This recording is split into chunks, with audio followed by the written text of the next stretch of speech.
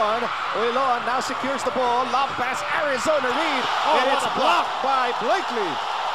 That's a tremendous block belling Blakely. But it feels like three blocks have happened here. Ito, you see him out of nowhere. Just challenge that. He's in his element today, guys.